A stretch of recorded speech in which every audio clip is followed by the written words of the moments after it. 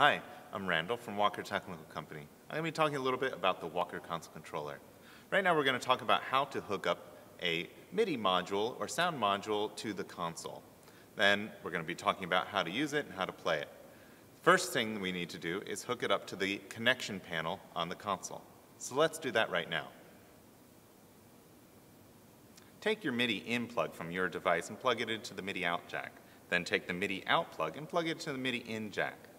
Then get your audio cables from your device, take the plugs and plug them into the audio L jack and the audio R jack. After your cables are hooked up to the console, if you haven't already hooked up your MIDI sound module, you can do so now. In this case, I'm going to be using an iPad as my sound module. First thing you'll want to do is hook up the audio input jack. Then, the next thing you'll want to do in this particular case is use the lightning port for my iConnect MIDI. Turn on the iPad, open up your MIDI sound module. In this case, I'm going to be using the Roland Sound Canvas software. Turn the organ on, log into your account, and you should be ready to use your sound module. To set up a MIDI piston, press Set, then the MIDI piston.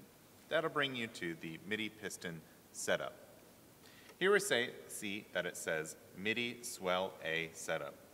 And the first item there is set to key patch. What that is is a quick way of selecting your patch. You can hit set and then hit a key and it'll change the patch based upon the key that you hit. In this case, I've selected the string ensemble. Or, I already know that the bottom C here will give me a grand piano.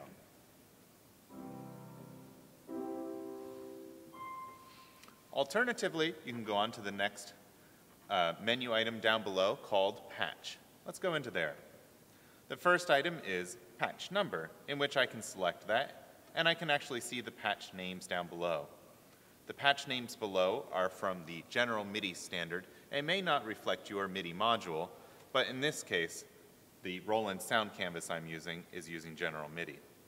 Below that is the octave offset. You can set whether it's uh, unity, one octave below, one octave above, or anywhere in between, all the way down to negative three to positive three octaves. The next is MIDI MSB, MIDI Bank MSB, and MIDI Bank LSB. Refer to your user manual of your sound module to know which bank select that will do. Each device is different, so you will need to refer to that user manual to know what sound you're going to actually get. After that, you have amplitude. Within amplitude, you can define what your expression shoes are going to do.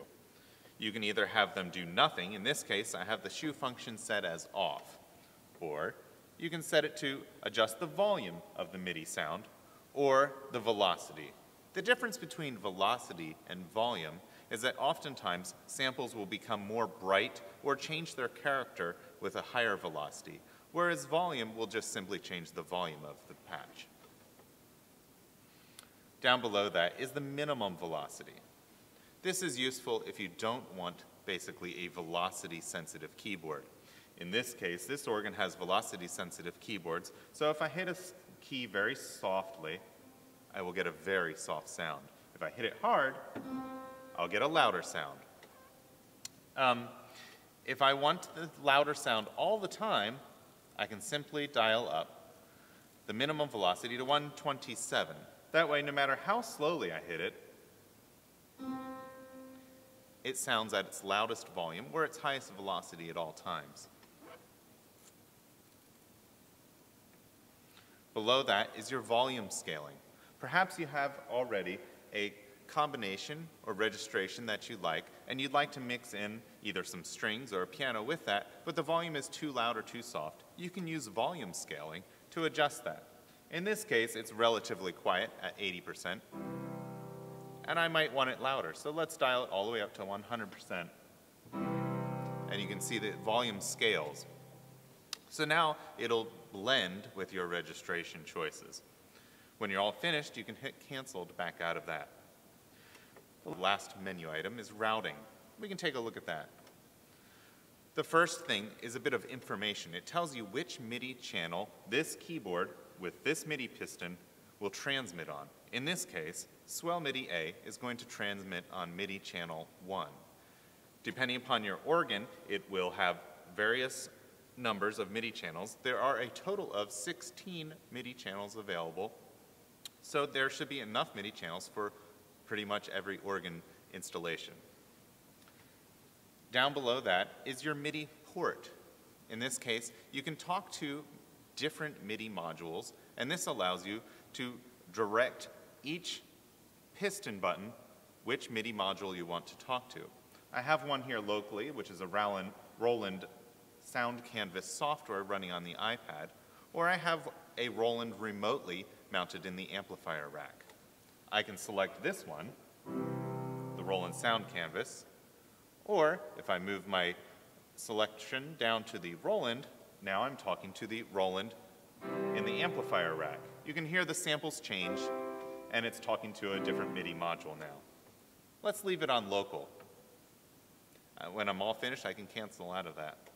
The last menu item is Save as Default. If I like how it's set up and I'm talking to the local port that I want to talk to all the time, I can set this as the default for power on when you turn on the organ. Once I have all my settings set up, I can add that setting to a general for recalling it later. So if I want to add this exact setup to general 6, I simply hit 6, or set, and then 6.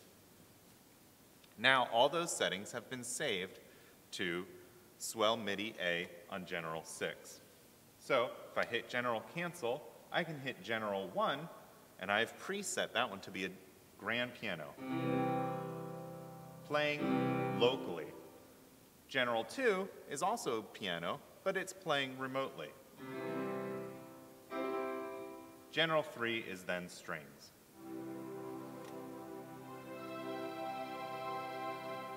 And as we set up already, General 6 is back to the grand piano.